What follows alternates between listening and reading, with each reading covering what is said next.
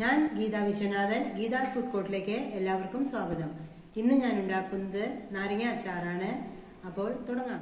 ഞാൻ രണ്ട് കിലോ നാരങ്ങയാണ് വാങ്ങിച്ചിരിക്കുന്നത്. ദാ ഇനി ആ നാരങ്ങ ഞാൻ ചെയ്യാൻ പോകുന്നത്. ഇത് ഇതുപോലെ ഒരു ബൗൾ എടുത്തിട്ട് അതിലേക്ക് കുറച്ച് മഞ്ഞൾപ്പൊടിയും കുറച്ച് ഉപ്പുമാണ് മിക്സ് ചെയ്യുന്നത്.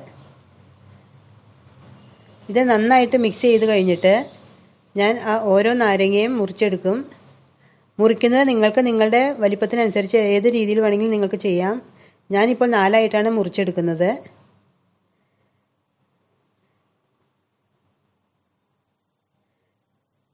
ഇനി ഈ നാരങ്ങ ഓരോ പീസും ഞാൻ ആ മിക്സിയിൽ ദാ ഇതുപോലെ തേച്ച് വെച്ചിട്ട് മാറ്റി വെക്കുകയാണ്. അങ്ങനെ ആ ഓരോ നാരങ്ങ പീസും ഇതുപോലെ ചെയ്ത് വെച്ച് ഞാനൊരു എയർ ടൈറ്റ് കണ്ടെയ്നറിൽ മൂടി വയ്ക്കും അത് എത്ര മാസം വേണമെങ്കിലും അത് കേടുകൂടാതെ ഇരുന്നോളും. അങ്ങനെ ഞാൻ ഇട്ടുവെച്ച ഒരു രണ്ട് മാസം മുമ്പ് ഞാൻ ഇതുപോലെ മഞ്ഞപ്പൊടിയും ഉപ്പും ചേർത്ത് വെച്ച ഒരു നാരങ്ങയുടെ മിക്സാണ് ഇതായി കാണിക്കുന്നത്. അത് നന്നായിട്ട് സോഫ്റ്റായി കഴിഞ്ഞു. ഇത് രണ്ട് മാസം മുമ്പ് ഞാൻ ഇട്ട് വെച്ചതാണ്. അതിന്റെ തൊണ്ടിനാണെങ്കിലും നന്നായിട്ട് ആ ഉപ്പും മഞ്ഞപ്പൊടിയും നന്നായിട്ട് ചേർന്ന് ഇതാ നല്ല സോഫ്റ്റ് ആയിട്ടുണ്ട്. ഇനി എനിക്ക് അച്ചാർ ആവശ്യമുള്ളപ്പോൾ ഞാൻ ഇതിൽ നിന്നും ഓരോ ബൗളായിട്ട് എടുത്തിട്ട് അതായത് എനിക്കൊരു രണ്ടാഴ്ചത്തേക്ക് വേണ്ടി ഉള്ള അച്ചാറിനാണ് ഞാൻ എടുക്കുന്നത്. നമ്മൾ ഒരുപാട് ഒന്നിച്ച് വാങ്ങിച്ച് അച്ചാർ പൊടിയൊക്കെ ഇട്ട് വെച്ച് കഴിഞ്ഞാൽ തന്നെ കുറച്ച് ദിവസം കഴിയുമ്പോൾ അതിനൊരു പഴകിയ മണം വരാൻ തുടങ്ങും. അല്ലെങ്കിൽ നമുക്കായാലും അതൊരു മടുപ്പ് വരും. പിന്നെ ബാക്കി വരുമ്പോൾ നമ്മൾ കളയുകയാണ് പതിവ്. ഇത് ഇങ്ങനെ ചെയ്യുമ്പോൾ നിങ്ങൾക്ക് ആവശ്യത്തിന് ആവശ്യത്തിനുള്ള അച്ചാർ മാത്രം ഉണ്ടാക്കിയാൽ മതിയെങ്കിൽ ഇതിൽ നിന്നും കുറേശ്ശെ എടുത്ത് നമുക്ക് അച്ചാർ പൊടി ചെയ്ത് മിക്സ് ചെയ്ത് എടുക്കാവുന്നതാണ്. ഇനിയിപ്പോൾ ഞാൻ ഇതാ അച്ചാർ ഉണ്ടാക്കുകയാണ്.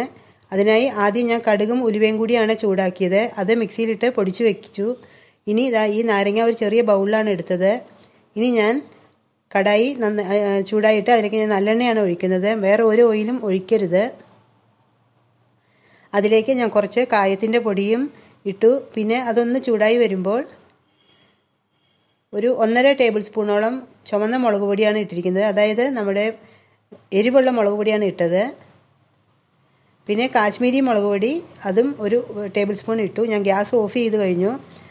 ഇനി അതിലേക്ക് നമ്മൾ പൊടിച്ചു വെച്ചിരുന്ന ഉലുവയും കടുകും കൂടി ചേർന്ന ആ മിക്സാണ് ഇട്ടത്. ഗ്യാസ് ഓഫ് ചെയ്യാൻ മറക്കരുത്. ഇനി ഇത് നന്നായിട്ട് മിക്സ് ചെയ്ത് കഴിഞ്ഞിട്ട് ആ കടായിയുടെ ചൂടിലാണ് ഇത് തിളച്ചുകൊണ്ടിരിക്കുന്നത് ഇനി ഇതിലേക്ക് നമ്മൾ ആ എടുത്തു വെച്ചിരിക്കുന്ന ഞാൻ ഒരു ബൗളാണ് എടുത്തു വെച്ചത്. ആ ഒരു ബൗൾ നാരങ്ങയാണ് ഇത് ഇതിലേക്ക് ചേർക്കുന്നത്. കുരു നിങ്ങൾക്ക് വേണ്ടാന്നുണ്ടെങ്കിൽ അതിൽ നിന്ന് കുരു മാറ്റാവുന്നതാണ്. ചിലപ്പോൾ കുരു കൂടുതലുള്ളുമ്പോൾ കഴിക്കും എന്ന് പറയുന്നുണ്ട് പക്ഷെ ഞാൻ കുരു ഒന്നും മാറ്റിയിട്ടില്ല.